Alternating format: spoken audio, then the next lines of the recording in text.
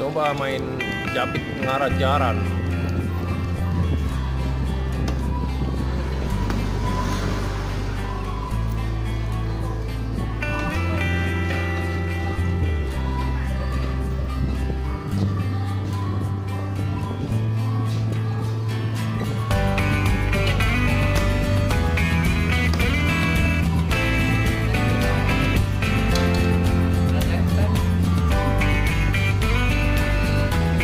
lihat dalam itu kudanya mas